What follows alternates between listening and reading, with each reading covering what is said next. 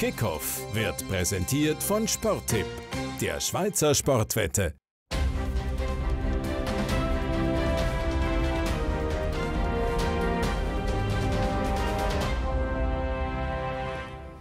Nach einer Woche Cup-Pause geht es weiter mit der fünften Runde in der Raiffeisen Super League. Und damit ganz herzlich willkommen zur Vorschau-Sendung Kickoff. Die Berner Young Boys die treffen nach dem Champions League Qualifikationshinspiel gegen Roterstern Belgrad auf der FC Zürich. St. Gallen und Lugano die wollen beide endlich wieder mal gewinnen und der FC Basel der wird nach regelrechten Horrorwochen zurück in die Spur finden. Sie sehen, wir haben mehr als genug zu besprechen mit unseren beiden Super League Experten heute hier im Studio mit dem George Preggi und mit dem Philipp Montadon. Schön, sind ihr da. Anfangen wollen wir aber mit etwas ganz anderem. Die Swiss Football League plant nämlich eine größere Reform in der Super League. Ab der Saison 2021-22 soll die Liga neu daherkommen. Und zwar sollen ab dann nicht mehr wie bis jetzt 10 Teams, sondern 12 Teams in der Super League spielen. Und nach 22 Qualifikationsrunden sollen einerseits die Punkte halbiert werden, die die Mannschaften bis dahin geholt haben. Andererseits wird die Liga aufteilt in eine Finalrunde der besten sechs und in eine Platzierungsrunde der schlechten weiteren sechs. Und am Schluss der Tabelle steigt dann der 12. direkt ab und der 11. Der spielt Barrage gegen den zweitbesten aus der Challenge League. Das also gleich wie bis anhin. Philipp, wo siehst du die Chancen in dieser Ligareform? Ja, die Chance ist äh, sicher mal äh, geografisch gesehen, dass äh, sich der ein oder andere Club wieder die Möglichkeit hat, sich in der Superliga äh, zu etablieren mit den zwei neuen Plätzen. Die Chance sehe ich aber auch darin, dass ähm, sagen wir, für, die, für die Mannschaften, die jetzt im Mittelfeld rumtümpeln, ich sage jetzt mal, die letzte Saison ausgeschlossen, geht es manchmal bei, bei einigen Clubs geht's um nichts mehr. Und da ist äh, doch mit, mit dieser Reform gibt es äh, Möglichkeit, dass die, die Meisterschaften bis äh, zum Schluss in gewissen Punkten äh, einfach attraktiv, attraktiv bleibt und äh, eben Abstieg, Europa League Plätze für die unteren und äh, natürlich auch mit den Meistern auch. Wo siehst du die Gefahren, George? Also, ob jetzt das äh, besser wird sein nach der Meisterschaft, bin ich nicht überzeugt. Oder ob das Niveau besser wird sein. Weil für mich ist schon speziell. Man hat äh, die erste Runde, die man machen tut, äh, von der Qualifikation, müssen wir in den Frühling hineinnehmen.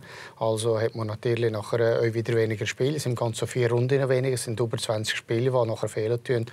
Und äh, nachher für mich ganz speziell ist natürlich, dass der siebte nachher so die Möglichkeit haben, in Europa Cup kommen, obwohl das der äh, vorher gar keine Möglichkeit hatte. Das ist für mich so ein bisschen künstliche Hoch Hochhaltung vom, von der Rangliste von der Runde. Aber ob die, da die Zuschauerzahlen so werden mitspielen, wo ich dass der Verband erhoffen tut, mache ich gleich ein großes Fragezeichen ob denn die Ligareform in der Form, wie wir sie jetzt gerade vorgestellt haben, auch definitiv wird kommen. Das wird entschieden im November an der Generalversammlung von der Liga. Jetzt wollen wir uns aber aufs Wochenende stürzen, wo bevorsteht. Die Super League mit einem Spiel, das wir schon hinter uns sehen, zwischen IB und dem FC Zürich. Die Berner Young Boys müssen also nur gerade drei Tage nach einem schwierigen Qualifikationsspiel gegen Roter Stern Belgrad wieder antreten. Philipp, ist das vielleicht die große Chance für den FC Zürich?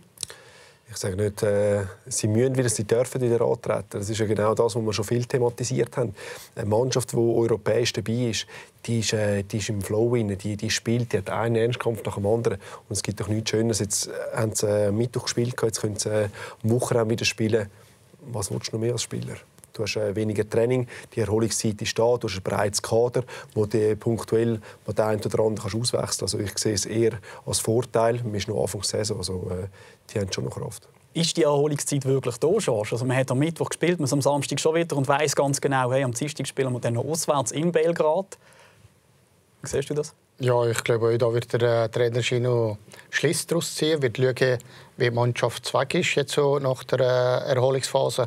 Und da wird er sicher punktuell eins oder der andere Wechsel machen. Er hat relativ ein sehr grosses Kader, hat ein gutes Kader, eine gute Mischung drin in dem ganzen Kader und von daher hat er wirklich die Möglichkeit, immer äh, wieder das Maximum rauszuholen. Und der Philipp hat gesagt, ich meine, als Spieler ist nichts Schöner als äh, Mittwoch, Samstags, Mittwoch spielen, wenn man so in den Rhythmus kommt. Und jetzt ist man richtig so der, der äh, Rhythmus mitnehmen vom Europacup, mitnehmen, das Tempo mitnehmen vom Europacup. Und das ist eigentlich immer wieder ein großer Vorteil, wenn man nachher auf eine Mannschaft treffen tut von der Schweiz.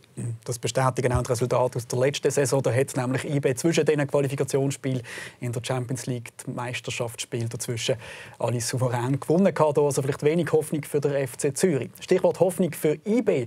Die ist am Mittwoch sicher ein bisschen zurückgekommen mit der Rückkehr von Guy Varro. Der Stürmer ist nach einer längeren Verletzungspause wieder eingewechselt worden und hat prompt das gemacht, nur drei Minuten später, wo er am besten kann, nämlich Goal schießen. Es war das wichtige 2 zu 2 in diesem Hinspiel gegen Roter Stern Belgrad. Es stellt sich natürlich die Frage, morgen gegen Zürich, Philipp, ihn gerade noch mal weiter forcieren, damit er dann im Rückspiel noch mal ein bisschen mehr Spielpraxis hat, oder morgen vielleicht eher noch mal schonen?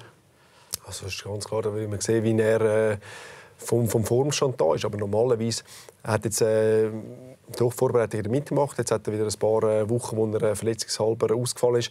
Kommt ganz darauf an, wie er sich körperlich fühlt. Aber ich denke, das ist wieder das, was ich vorher angesprochen habe. Wenn, wenn ein Spieler im Rhythmus ist, dann, dann, dann läuft er, oder? Dann kommt er rein und er ist auf Betriebstemperatur und es hat ihm glaube gut da, es hat der Mannschaft gut da, dass er gespielt hat und ich glaube, wenn sein Fitnessstand auf, auf dem Niveau ist, wo, wo, er, wo er sollte, macht es absolut Sinn, dass man ihn am Samstag wieder einsetzt und äh, seine Spielpraxis auch wieder sammeln kann. Und wie wichtig ist, das hat er ja gezeigt, dass er ist, das hat er ja gezeigt. Nicht nur das Goal, das er gemacht hat, er ist auch noch zu weiteren Top-Chancen gekommen.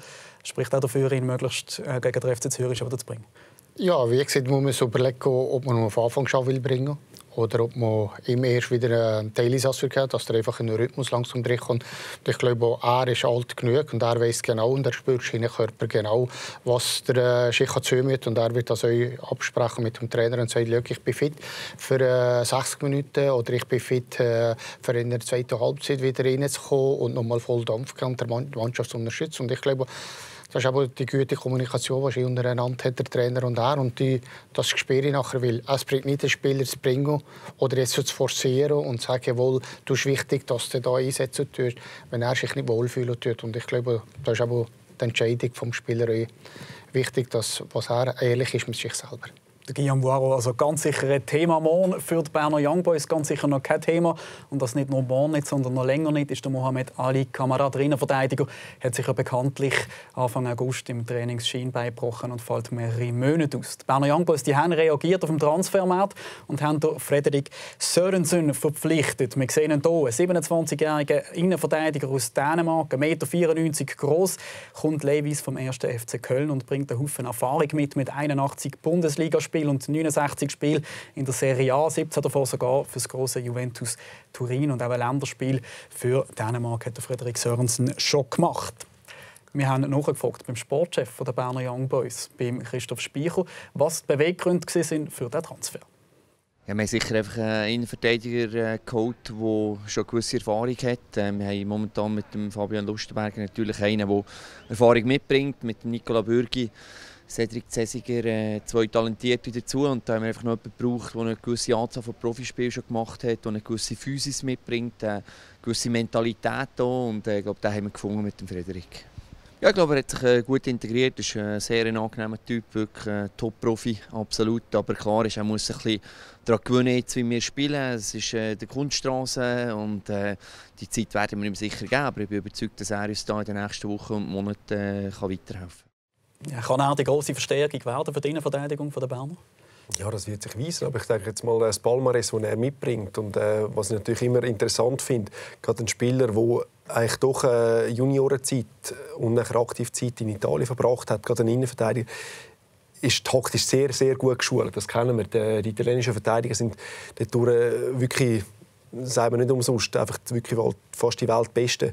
Und das bringt er mit. Er bringt die Erfahrung von, von zwei grossen Ligen nach Bern. Und von dem her denke ich mal schon, hat er ein gewisses, gewisses Renommee, wo er die Mannschaft sicher kann weiterentwickeln kann. Er hat ein Länderspiel gemacht. Also von dem her, ich finde es ein, ein spannender Transfer aber wird sich, können, wird sich erweisen, wie er natürlich in dieser ganzen Mannschaft das System von äh, vom Gerardo Seane auch annimmt, kann natürlich interpretieren wenn Ibe George so einen Spieler vom Renommee holt vom Sörensen, dann ist das irgendwo auch ein Zeichen für die jungen Innenverteidiger Cesing und Bürgi, dass es für die im Moment eben doch noch nicht ganz langt. Darf man das so interpretieren?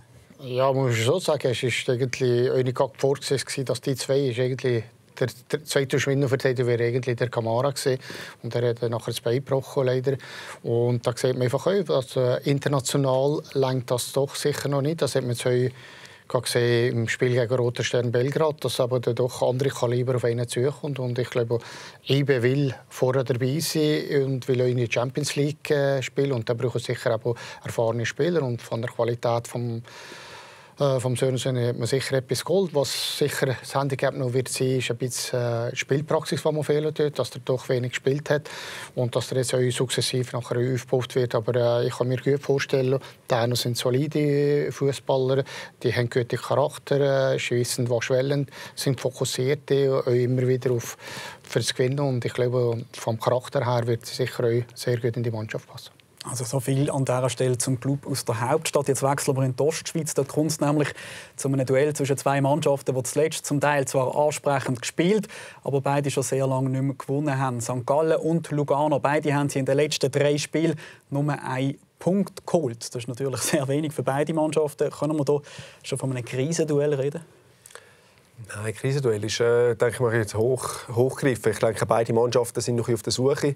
Denke, wenn man Lugano anschaut, Lugano nach dem ersten, zweiten Spiel, haben wir gedacht, wow, die Mannschaft, äh, die, die belebt die Super League. Und äh, das, das haben sie definitiv, aber das Resultat hinken noch hinten an. Sie sind so ein bisschen, ja, ein schwer nachher noch in den Tritt hineinkommen. Sie haben ihren, ihren Anfangsflow haben sich verloren. Sie haben eine Offensive, wo man rein personell gesehen muss sagen, ist, ist äh, für die Super League top die haben es jetzt aber nicht mehr so performt, wie sie, äh, wie sie äh, die ersten ein, zwei Spiele gemacht haben.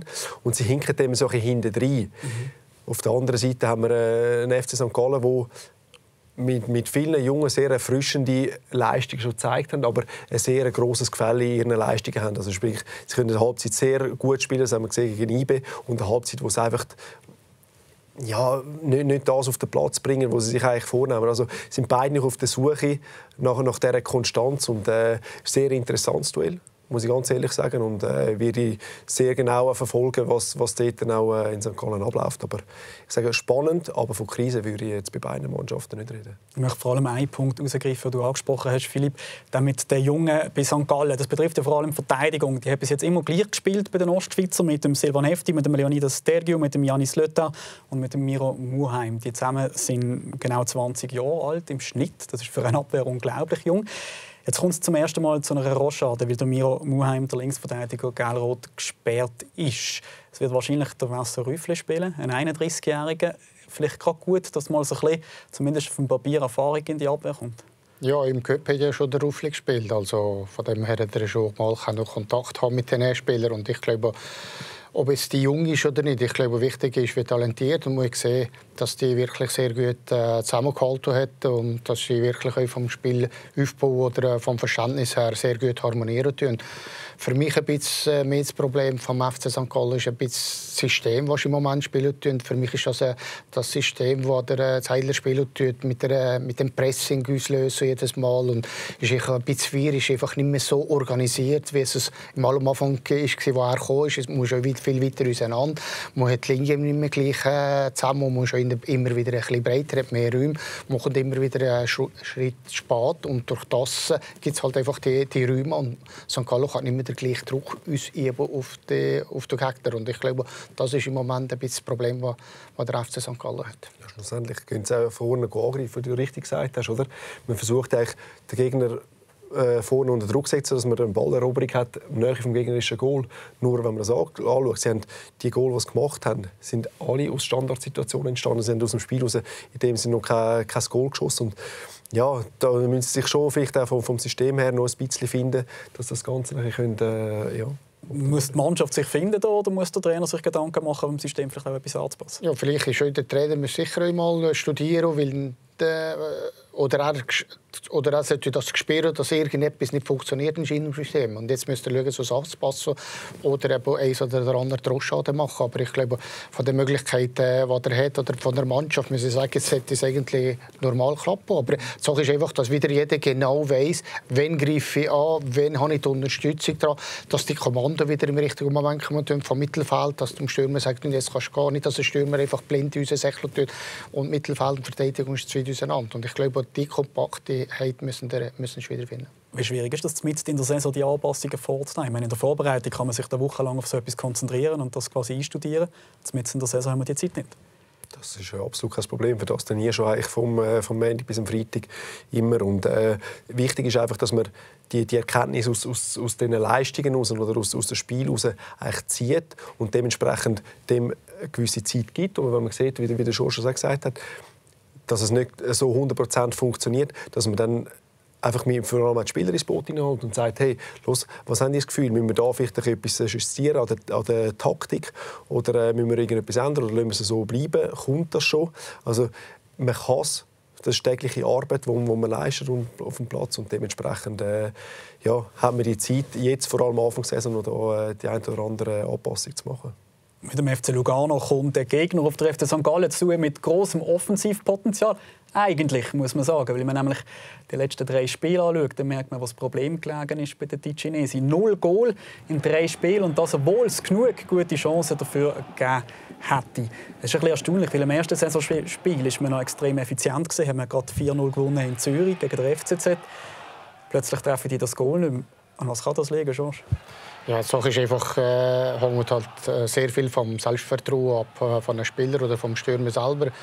Weil äh, ein, ein Stürmer lebt von dem und dann müsste er heute Unterstützung vom Trainer haben. Und wenn man sieht, äh, die letzte Saison haben sie doch ein schönes gehabt mit dem Gent und dem äh, Carlinhos. Carlinhos. Und äh, die hat er jetzt einfach auseinandergenommen, weil der Carlinhos hat gesagt ja, ich will vielleicht weg. Und dann sagt der Trainer, ja, dann kannst du wieder nicht spielen. Und das ist einfach eine Sache, die ich nie kann verstehen kann, dass man einen Spieler nicht weiterhin abhalten und sagt, los, wir zählen auf dich, wir wollen euch so. Und der Spieler sollte mal aufhören, wenn irgendein Club kommt und ein bisschen mit der Geldschiene wedeln tut, dass man sagt, ja, ich will irgendeinen Wandclub wechseln.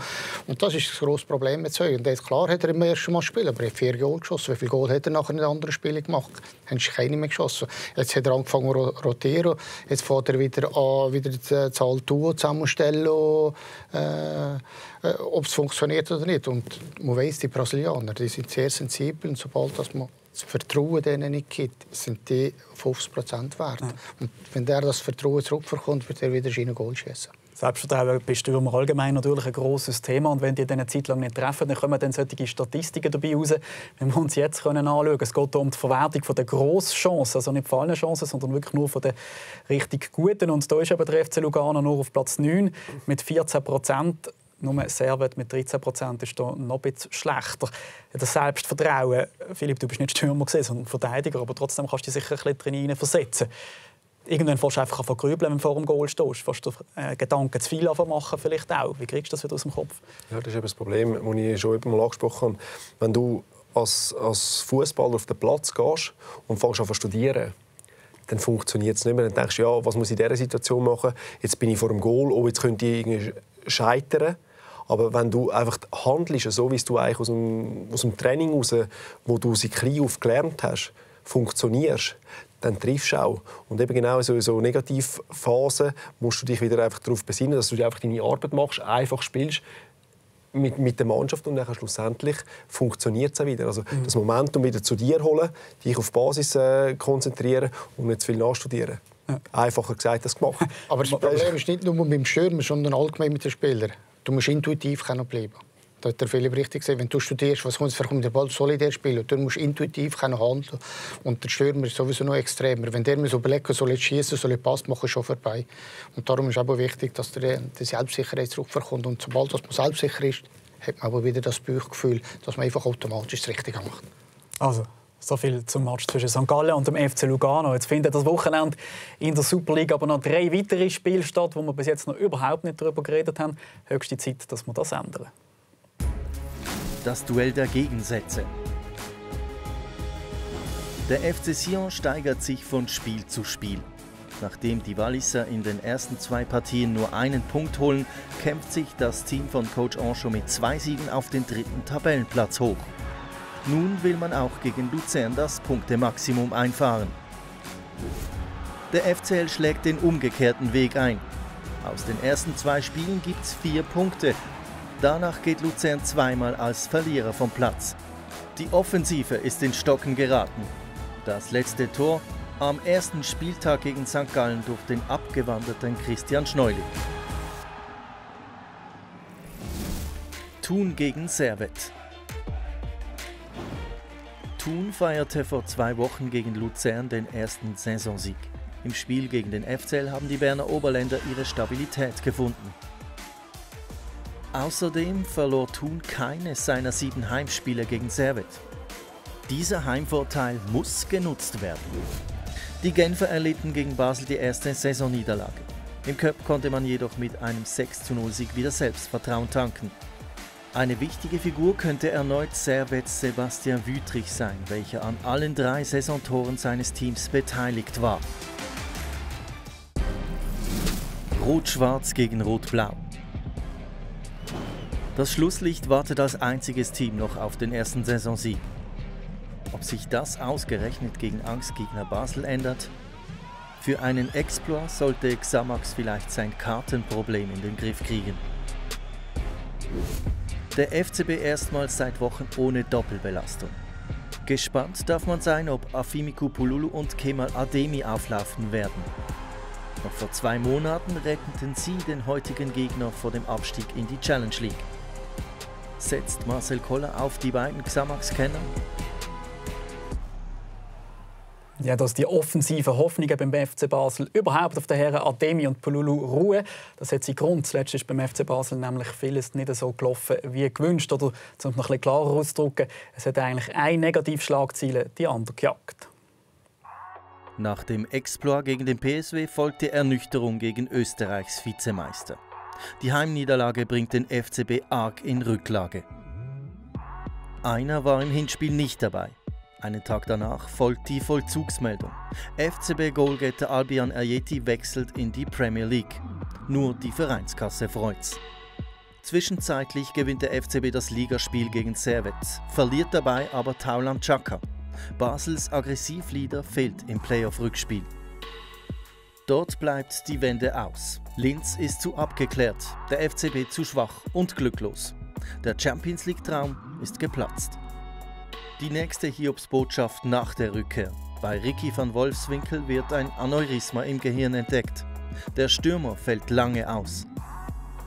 Wenn man kein Glück hat, kommt auch noch Pech dazu. Trainer Koller stürzt mit dem Velo und verletzt sich dabei schwer. Zuletzt noch eine Enttäuschung für viele Fans. Der Vertrag mit Jofra Siridir wird per sofort aufgelöst. Ein unrühmlicher Abgang für den Publikumsliebling. Es sind wirklich gerade viele negative Meldungen gesehen rund um den FC Basel in den letzten zwei bis drei Wochen. George, wie fest kann das auf die Moral von einer Mannschaft schlagen? Ja, das ist sicher nicht positiv, wenn man so viele negative Sachen hat. Äh, auf der Interseite hat man ja gewusst, dass äh, Ayeti oder Van Wolfswinkel, wenn einer von beiden nicht spielen will, dass der wirklich äh, will der Club wechseln Und von dem her hätte man sicher schon beim FC Basel müssen schauen, für, äh, dass man vielleicht einen Ersatz finden kann. Und auf der, auf der anderen Seite muss man sagen, hat man natürlich sicher auch Pech, wenn man sieht, Van Wolfswinkel, äh, dass das mit der Verletzung, äh, er eigentlich zum Glück ist gesehen. Mhm. Man muss heute auch sagen, dass er die Verletzung hat, dass man das hat gesehen und nachher kommt noch das Pech dazu, dass der Trainer selber äh, noch einen Unfall gebaut hat mit dem Velo und äh, da ist wirklich die Pechsträhne groß und das nagelt schon ein am Selbstvertrauen oder um am Selbstwertgefühl. Ja, Umso wichtiger wäre es wahrscheinlich jetzt gegen Samax ein Zeichen wieder zu setzen, oder? Ja, absolut. Also sie müssen vor allem sportlich wieder auf, äh, auf die Spur kommen. Ich denke, das sind klar ist das vom, vom Kader her und alles, wo, wo, sehr negativ gelaufen ist, aber ich denke auch sportlich gesehen. Ich glaube, äh, Linz, äh, das, das nagt ihnen. Also das ist ja immer das Gefühl, so als Schweizer haben wir immer das Gefühl, ja, wir sind in der österreichischen Liga, in dem im Fußballer ist, noch überlegen. Wir haben es nicht geschafft, weil wir einfach ungenügende Leistungen gebracht haben. Ich glaube, das, das nagt ihnen mehr noch nebst den personellen Veränderungen, haben. Und jetzt ist wichtig, wie sie auf das reagieren, dass als Mannschaft, die, die vorhanden sind, die Charakterköpfe, dass sie jetzt auch die Mannschaft mitziehen können. Und ich bin wirklich gespannt, wie sie in äh, Neuenburg werden auftreten. Wir müssen aber wirklich noch über die personellen Veränderungen gleich noch ein reden. Sorry, aber zwei Stürmer mit Namen Kemal Ademi und Afimiko Pululu, das ist für den Anspruch vom FC Basel, ohne denen beide jetzt zu nachzutreten. Aber die haben beide noch gegen den Abstieg mitgespielt, mit Xamax letzte Saison kann das eigentlich nicht länger für den Anspruch vom FC Basel. Für den Anspruch sollte es eigentlich oder müssen eigentlich oder darf es nicht länger. Weil Nadem ist sicher ein guter Spieler, Polulu ist auch ein guter Spieler, aber das sind im Prinzip für mich auch Ergänzungsspieler zu, zu einer Mannschaft, wie der FC Basel hat. Und darum habe ich vorher gesagt, man hat ja gewusst, dass einer von den zwei Topspielern wirklich könnte gehen. Und ich, da bin ich eigentlich erstaunt, dass Basel niemand in der Hinterhand hat. Das ist eigentlich die grosse Stärke, die der FC Basel in den letzten Jahren oder in den erfolgreichen Jahren hatte. Sobald das irgendein Topmann weg ist gegangen, hat man wieder den nächsten Mal bringen. Und jetzt hat man da auf das Mal Glück Man weiß nicht, ob man blauäugig war und das Gefühl hatte, ja, das wird sowieso nicht passieren, wir werden diese Mannschaft zusammenhalten Das ist eigentlich für mich schon ein bisschen ein Zeichen, dass im FC Basel zum Teil gewisse Sachen verschlafen sind worden. Was genau schon passiert ist oder passiert im Büro von Rudi Zminten, dem Sportchef vom FC Basel, wissen wir natürlich nicht im Detail. Aber trotzdem hast du irgendwie das Gefühl, es könnte ein Name umschwirren. Vielleicht auch in der Schweiz, wo noch Sinn machen würde, dann auf Basel zu holen überhaupt. Wie einfach ist das jetzt nicht mehr? Nein, man muss natürlich äh, auch den, den Zeitpunkt äh, anschauen. Darum ist man auch gross am Diskutieren. Der Wechsel von Maietti ist einfach zur Unzeit gekommen. Man war äh, in einer, in einer Champions League äh, drin. Man konnte eigentlich dort wirklich ein Ausrufezeichen setzen und dann geht er. Und dann ist natürlich die, die, die Zeitspanne ist wirklich gering, wenn, wie, wie der schon gesagt hat, wenn man das Dossier auftut, das heißt Stürmer, was gibt es für potenzielle Stürmer im eigenen Land oder auch äh, im Ausland, wo man eigentlich holen könnte, wo ihn eins zu eins wieder setzen. Und, aber, äh, aber, das war ja vorher klasse vom ah, FC Basel, dass die immer wieder in der Hinterhand Spielerin. Und jetzt muss man praktisch verschlafen. Ja. Muss man sagen, man ist sich gar nicht vorbereitet oder äh, sich nicht, nicht darüber Gedanken gemacht, dass man so weit kommen kann. Ich meine, äh, das sind schon gewisse kleine Fehler, die passieren. Darum längst aber vielleicht nicht mehr für ganz an Spitze kommen. Leider längst für uns auch nicht mehr zum Weiterdiskutieren. Wir sind am Ende der Sendung. Ich bedanke mich ganz herzlich, Philipp Montaton, Georges Bregi, sind dabei gewesen. Ich bedanke mich natürlich auch bei Ihnen daheim, sind Sie mit dabei gewesen, für Ihr Interesse. Ich lege Ihnen natürlich noch das Spiel von diesem Wochenende ans Herz. Fünf Stück sind Sie, können Sie wie immer alle live schauen bei Teleclub. Ganz viel Vergnügen dabei. Schönes Wochenende.